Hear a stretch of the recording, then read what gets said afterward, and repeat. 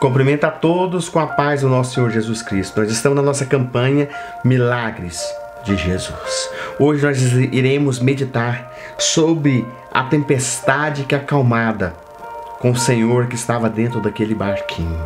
Vamos orar a Deus, apresentar o dia de hoje essa campanha. Querido Deus, eterno Pai, eu apresento o dia de hoje esta campanha. Pai querido, que esse ensinamento de hoje possa, ó Deus, fortalecer a fé deste irmão e que essa palavra seja ali guardada dentro do coração. E cuidado, Pai querido, com essa mensagem guardada com o Espírito Santo. Que esse irmão possa meditar neste milagre. Em nome do nosso Senhor Jesus Cristo. Amém. E graças a Deus. Esta passagem, Jesus acalmando a tempestade ela é relatada em três evangelhos. Ela é relatada em Mateus 8, 23 e 27. É relatada em Marcos 4, 35 e 41. E é relatada em Lucas 8, 22 e 25.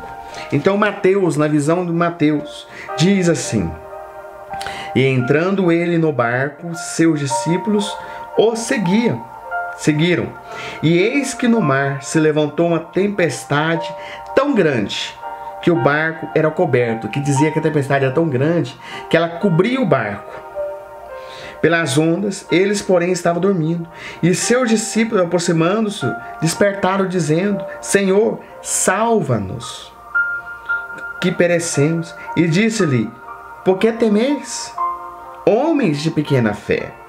Então, levantando, repreendeu os ventos, e o mar seguiu, e uma grande bonança se acalmou. E aqueles homens se maravilharam, dizendo: Que homens, que homem é este que até os ventos do mar o obedece? Estava dizendo de Jesus que até a zona do mar obedecia. Aqui Marcos vai dizendo uma nova visão. E naquele dia, sendo já tarde, ou seja, era tarde, à noite, Disse-lhe: Passemos para o outro lado, vamos para o outro lado. E eles, deixando a multidão, o levaram consigo assim como estava no barco. Havia também com eles outros barquinhos. E levantou-se grande, aqui está dizendo que além do barco de Jesus havia outros barquinhos. E levantou-se grande temporal de vento. Subiam a onda por cima do barco, de maneira que já enchia o barco. E ele estava a polpa dormindo. Quem? Jesus estava a polpa dormindo sob uma almofada e o despertaram, dizendo-lhe: Mestre, não te dá que perecemos.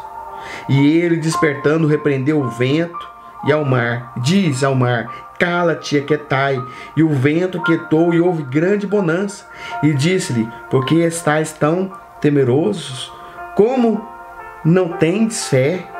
E sentiram um grande temor e diziam uns aos outros: Mas quem é este? que até o vento do mar o obedece. Em Lucas 8 vai dizer para nós uma nova visão. E aconteceu que num daqueles dias entrou num barco com seus discípulos e disse-lhe: Passemos para o outro lado. E partiram. E navegando eles, adormeceu sobre veio uma tempestade de vento do lago, e enchia entrando a perigo. E chegando ele a despertar, dizendo: Mestre, perecemos. E ele, levantando, repreendeu o vento e a fúria da água cessaram. E fez a bonança e disse: Onde está a vossa fé? E eles, tremendo, maravilhados, dizendo uns aos outros: Quem é esse que até o vento da água manda e ela obedece? Você vai ver que nos três evangelhos vai relatar um que Jesus estava dormindo ali na, na polpa do barco. Mas ambos vão dizer: Homens de pequena fé, cadê a tua fé? Imagina que nós estamos falando aqui, você veja que nesta campanha Milagre de Jesus, hoje é o nono dia. Você vai ver que já aconteceu vários milagres antes e todos estes discípulos presenciou. Aconteceu a transformação da água do vinho.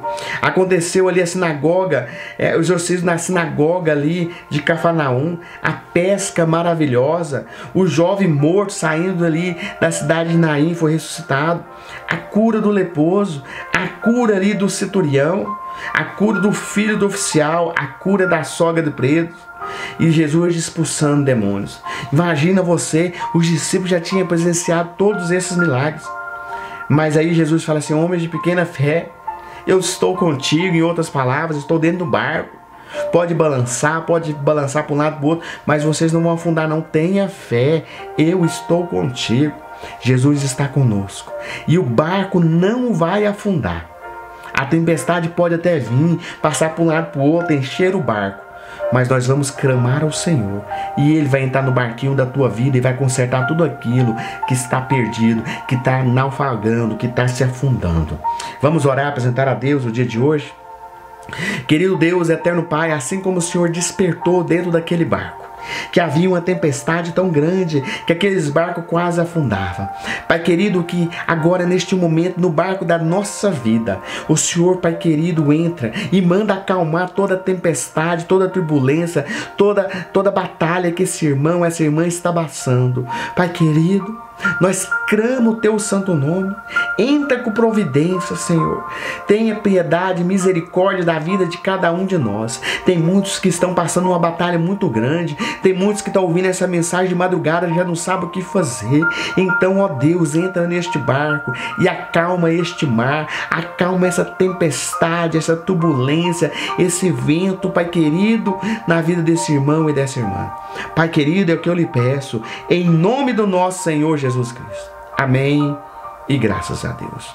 Fique todos com a paz do nosso Senhor Jesus Cristo. Amém e graças a Deus por isso.